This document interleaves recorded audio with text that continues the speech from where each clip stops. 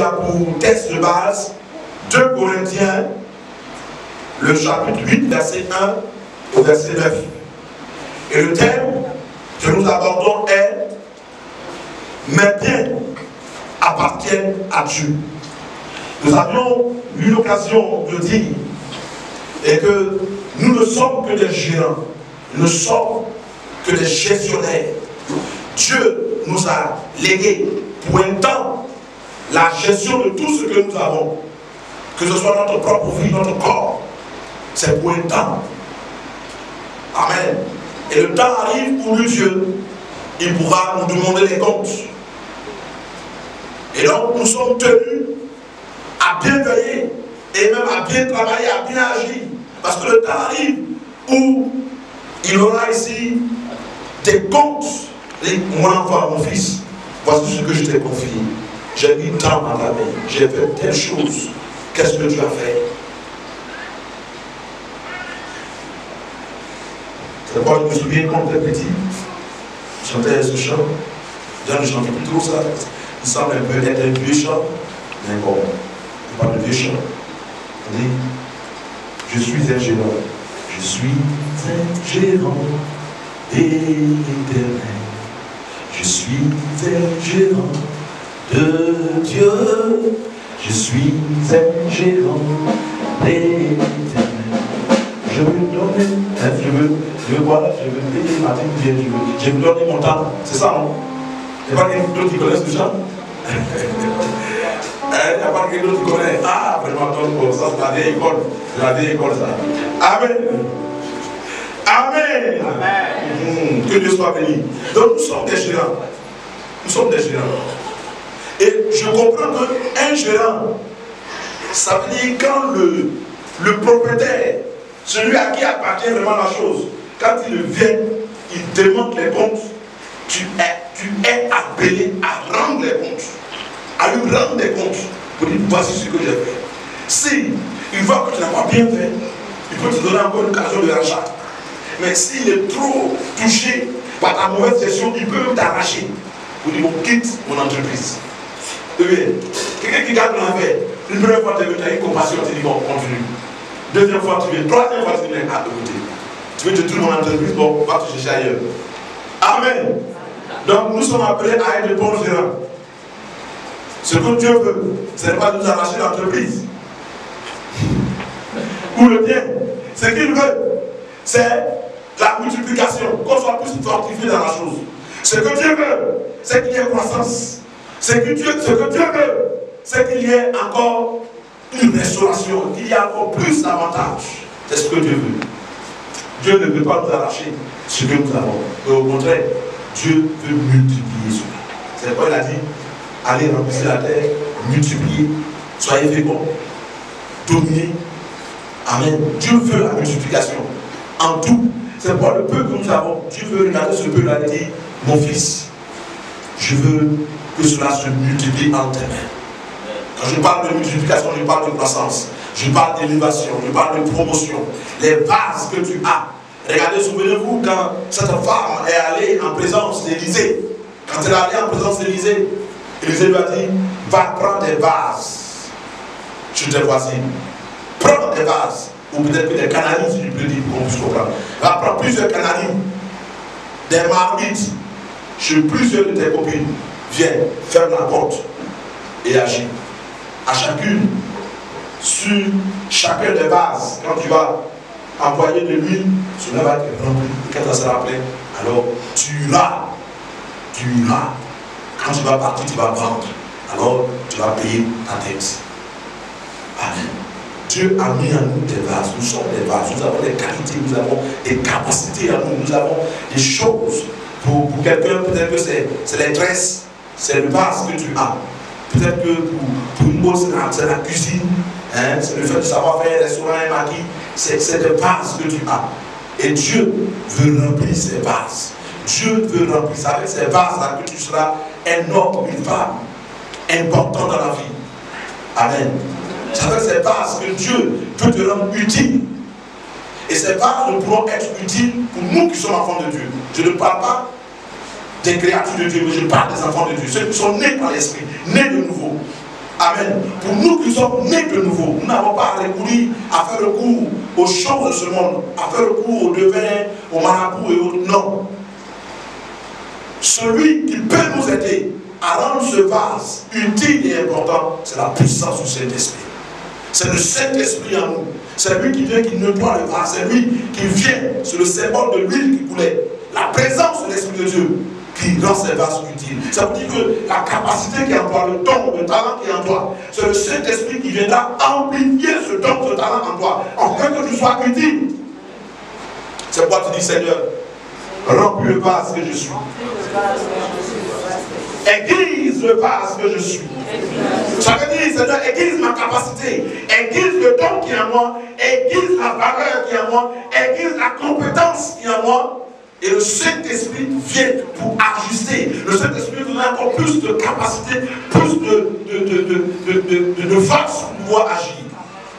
Alléluia. C'est en ce moment quand tu vas sortir, quand le Saint-Esprit est dans la place, tu sors, quand tu proposes un peu, ça c'est bon, mais tu t'es où depuis là Parce que le Saint-Esprit a l'occasion d'aiguiser le vase qui est en toi. Et Dieu le Créateur, quand il aiguise, quand il aiguise, quand il aiguise, frère, il n'y a pas d'échec. Quand Dieu aiguise, il n'y a pas d'échec.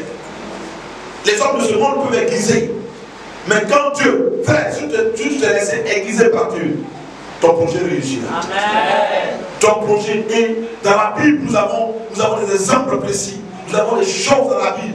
Car nous avons aussi dans, dans le monde de l'Église, le monde du christianisme, il y a eu des hommes aussi, des puissants hommes qui, qui sont laissés aiguiser. Des hommes comme Caterpillar, George Miller et autres, se sont laissés aiguiser par le Saint-Esprit. Et aujourd'hui, il y a encore des bénéfices. La progéniture, la descendance, la postérité. En tout cas, jusqu'à ce que Jésus revienne, cette postérité bénéficiera de ce que les pères, les ancêtres ont laissé. Ces personnes se sont laissées aiguiser par Dieu. Et cela demeure. Cela demeure. L'homme de Dieu me un témoignage.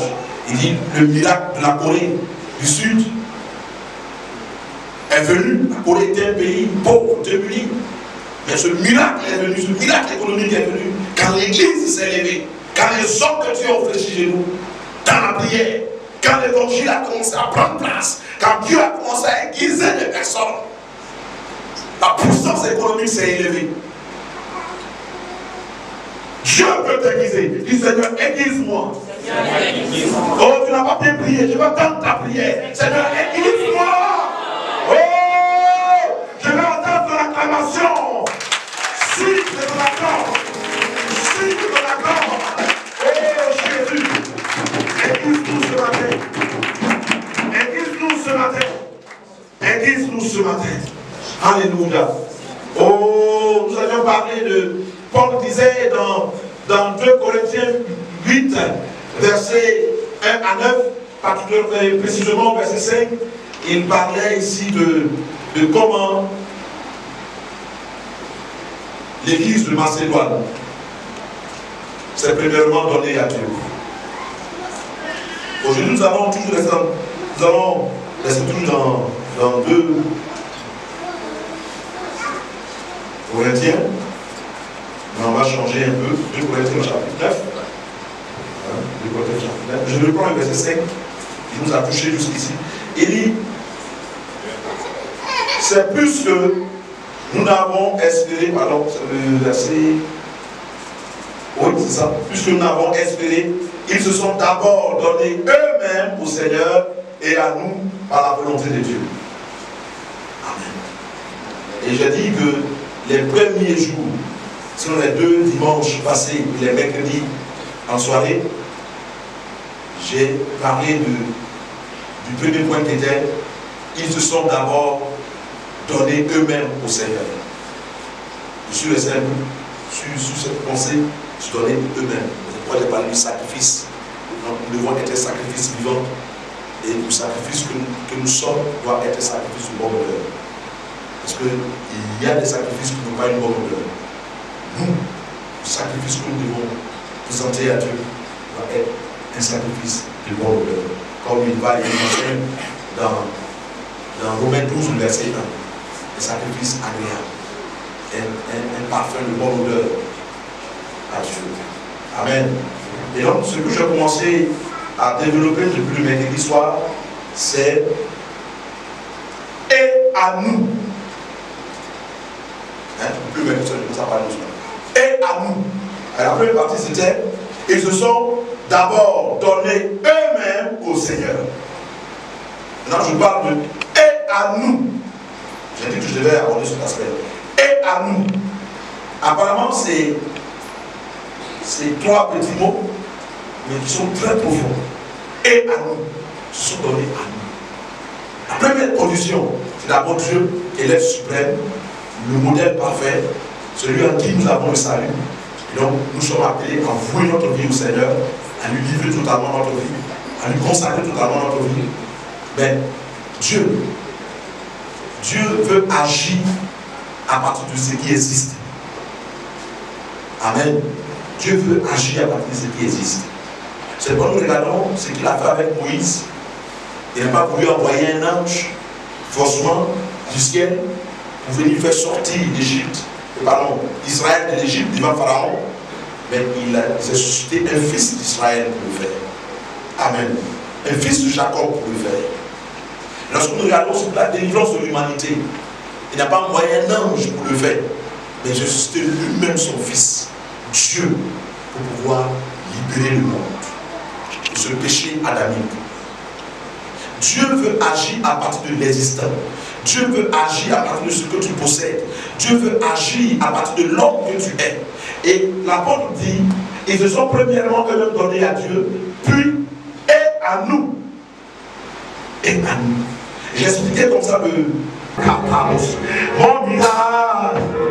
Oh mon miracle. Je veux mon miracle. Mon miracle. Touche ma vie. Aujourd'hui. Visite-moi. Aujourd'hui. Visite-moi. Mon miracle. Mon miracle. C'est ma maman.